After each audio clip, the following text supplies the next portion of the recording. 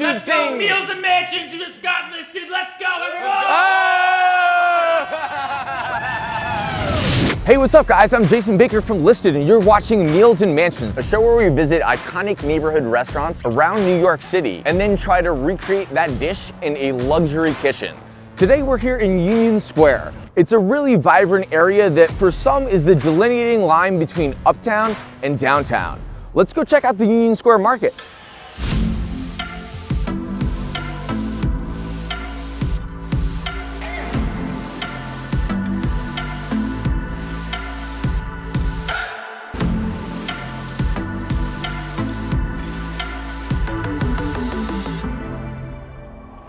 We're here at Boucherie, one of my favorite French brasseries in the entire city. Chef Dominick Pepe makes one of the most amazing duck confits you ever had, and also they have an amazing holiday decor. It's really one of my favorite spots in the holidays. Let's go check it out.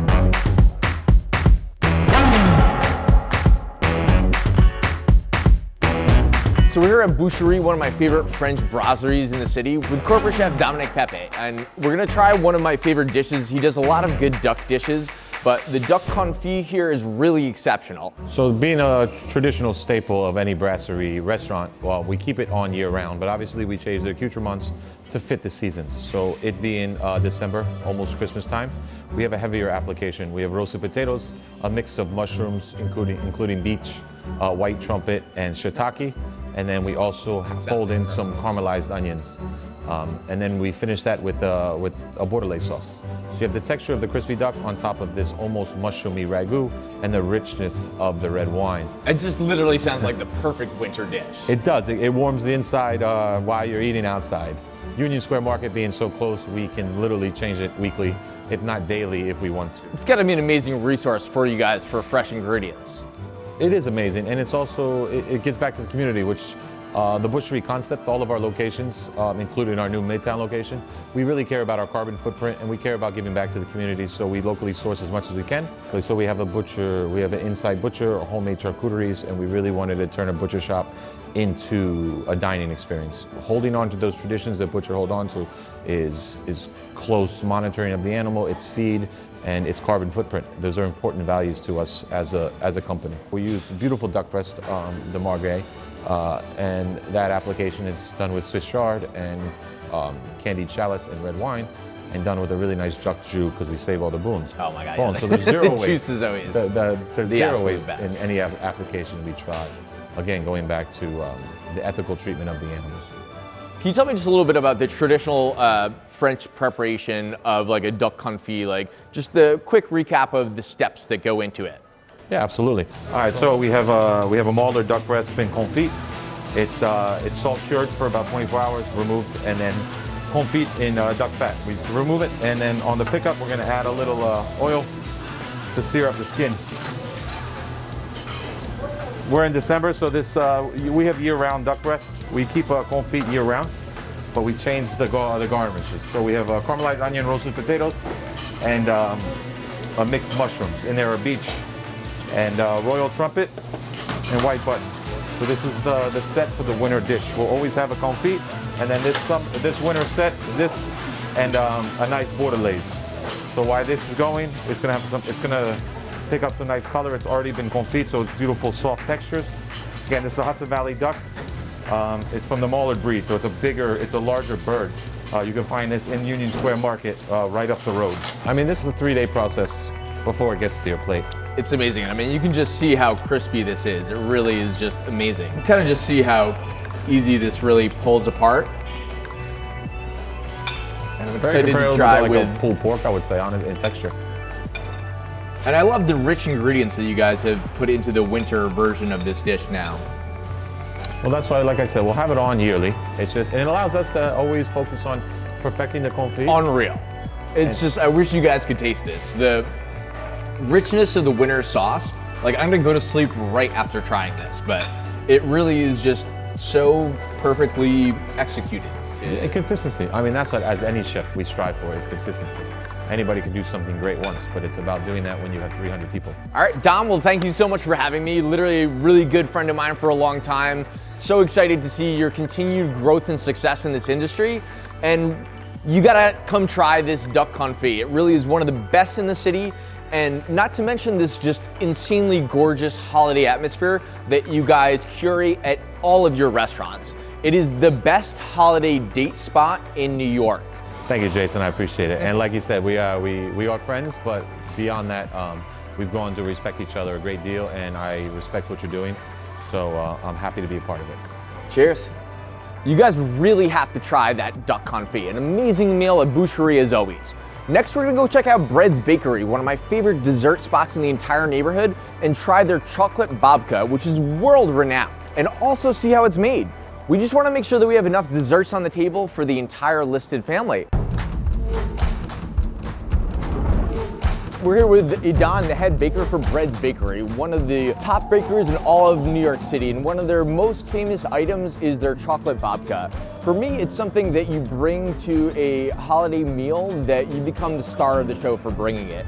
Edan, do you want to tell me a little bit about uh, the process of making the babka here? And in a little bit, we're going to go see how they do that. Yeah, so um, we start off with a, a, laminated dough or a yeasted dough. So mm -hmm. Obviously, it has yeast and it needs time to rise. Uh, we laminate that dough and we make hundreds, if not thousands of these every day. For us, you know, once we laminate that dough, or lamination is the process of engulfing butter into a dough and giving mm-hmm. a series of folds. Um, after that, we, we sheet it out. We spread some Nutella on it, uh, some chocolate chips, just to kind of counter the sweetness of the Nutella.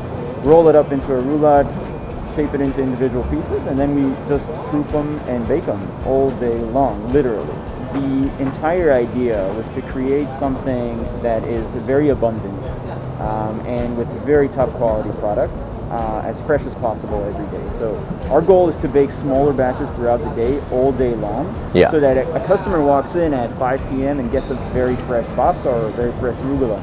Um, and that's that's really our goal, and it takes a lot of effort to do that. Yeah. Um, but it's definitely worth it. I think the spirit of New York and like really bringing everybody together and helping each other, that sense of community is really what uh, makes New York so special.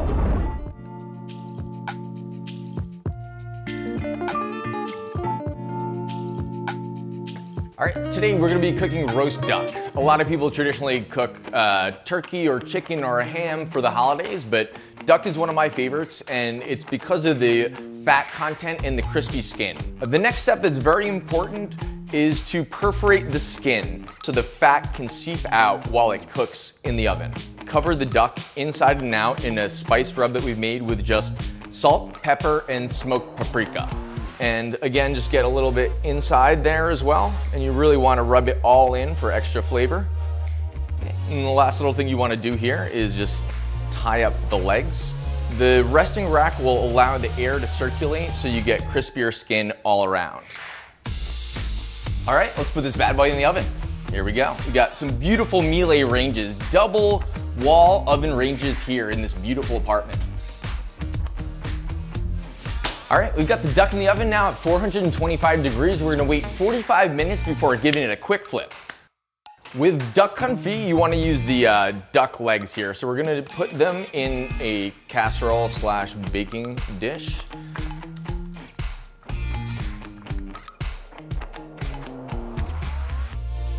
And now we're gonna layer them and completely submerge the duck legs in duck fat.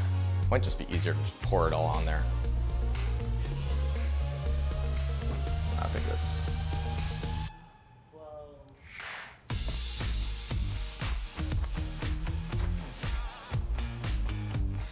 So one of the luxuries when you're making duck is you have so much amazing duck fat to work with. And duck fat potatoes are one of the most amazing byproducts of cooking with duck. They have a really crispy outside from the duck fat and the oils, and they have a very fluffy inside because you're partially boiling them before putting them in the oven. All right, so moment of truth, time to take this baby out. Let's see how this duck looks. Oh my God, look at that skin. Look at this beautiful crispy skin. Here we go. Ooh. It's a beautiful bird. Look at that. So the roasted duck and now duck confit. Look at how perfectly fall off the bone tender that is. Alrighty, we got the whole listed crew here. We're gonna make some spiked bourbon apple cider with a little bit of aromatics. We've got some blood orange here, some anise, and two kinds of cinnamon. And we got the apple cider half a block away in Union Square Market. I mean, it's such an amazing resource for fresh vegetables and any kind of produce. So what we're gonna do here is we're gonna just mix in a little bit of this. We're gonna bring this to a boil and then let that simmer for about 10 minutes and then we're gonna add the bourbon and enjoy. What do you guys think? Can I, can I guys have a little bit of help? Maybe just like mixing some of this stuff up? How many real estate brokers does it take to put things in a pot? Right? Pretty long. It takes Pretty long. six. Quite. Six of us. You guys ready to eat some duck? We have about 10 pounds of duck. Are you guys excited to have some crispy duck skin?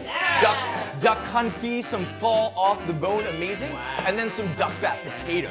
Uh, one, I want to thank all of you guys for being a part of Listed, uh, the greatest real estate media network in the history of the known universe. Uh, some of your shows are now wrapping up the first season. They just wrapped up and they were killer successes. And then we've got new shows that are starting right now Meals and Mansions, Verified Pads, and so much more. So cheers to you guys.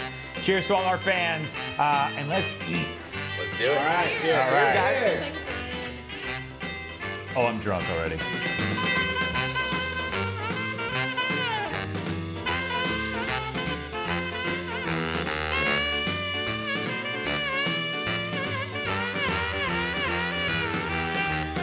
All right, well, thank you guys for joining us. It's the first episode of Meals in Mansions. We have a lot to go. We really have an amazing lineup of chefs, local neighborhood hidden gems, and it's going to be an amazing season. And I want to thank you guys. You guys have just wrapped up your seasons, the rest of Listed, the whole crew here. And Ryan, of course, for giving us all the opportunity. I mean, it's the holidays. We want to be very thankful for that. And hope you guys will join us for the journey. Thanks so much. To subscribe. Subscribe or is your first swipe, episode or something? Swipe. Subscribe to Listed. Swipe, put your comments, like it. YouTube, do the YouTube Let's thing. Go. Meals and Mansions just got listed. Let's go, everyone. Oh!